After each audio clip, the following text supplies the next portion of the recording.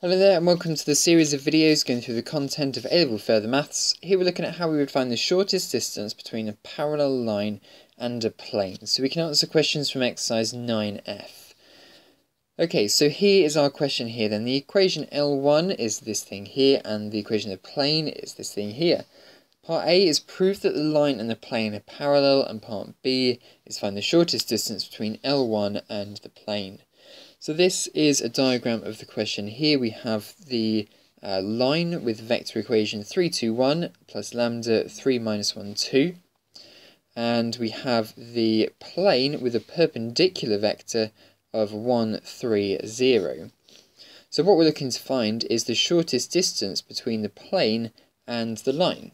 Okay, so to prove that they have no intersection points, well let's try and find an intersection point by substituting in the equation of the line into the equation of the plane. That's how we find intersection points between lines and planes. So let's go ahead and do that. So it's substituting the whole vector of the line dotted with the um, normal vector equals 10. Expand out your dot product and all of a sudden I think we see here that this 3 lambda here and this minus 3 lambda here um, is uh, cancels each other out. So therefore this problem here is unsolvable. Or in other words there is no solution to this equation. So as there is no solution to this equation the two lines the, the, the line and the plane must be parallel. And therefore do not intersect. Okay, so how are we going to approach this next problem in part B then? So given that the line and the plane are parallel, the shortest distance between the line and the plane will be constant throughout the line. Therefore, we can treat this problem as the same as the shortest distance between a point and the plane. So that makes it really nice and easy. So we're going to assume here that we're going to start at this point here of 3, 2, 1. Doesn't really matter what direction vector we're going in here because the same distance will apply throughout the question. So it's a nice easy problem actually. Work out the distance between this point and this plane and just use the formula that's in your formula booklet. So we're going to apply this formula here. Substitute in your values, remember it's alpha is 3, beta is uh, 2, gamma is 1, and this is the value n1, n2, and n3 down here. The d value is this thing at the end of the equation here.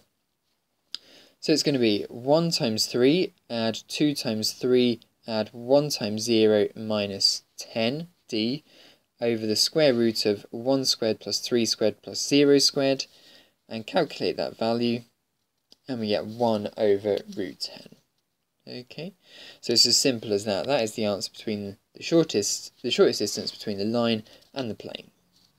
Your turn to have a go at a question now. Pause the video and try this one out.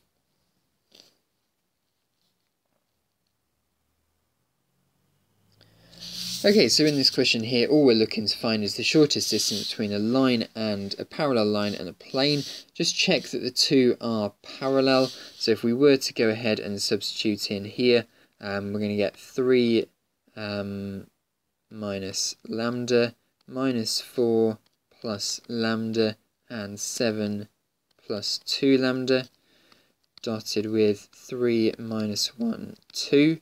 And let's see what we get here. We're going to get 9 minus 3 lambda. We're going to get plus 4 minus lambda. And we're going to get 14 plus 4 lambda equals 0. No, equals 14. Uh, so the lambdas, unfortunately, here will be cancelling out, so no solution.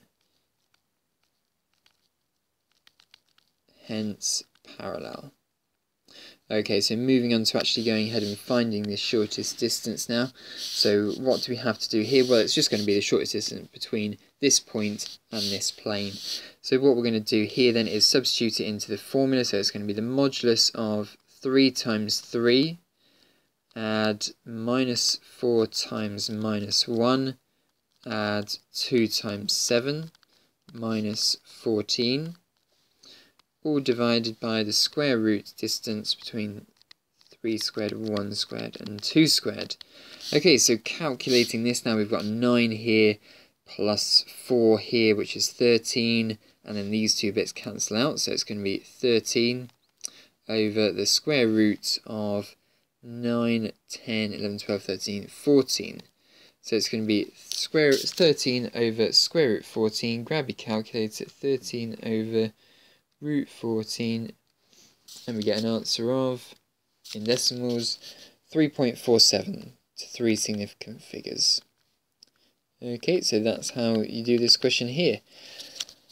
Right, so um, it's as easy as just finding the shortest distance between a point and a line when things are being parallel, because it doesn't really matter where along this plane you're finding the shortest distance from. Um, it's just going to be it's just going to be a shortest distance constant throughout that whole parallel line.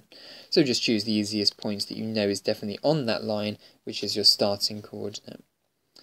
Okay, so there are a couple of exercises in, in uh, 9F that correspond to this, but feel free to have a look at the next set of videos which, um, which we're going to describe to complete exercise 9F. Okay, thanks for watching.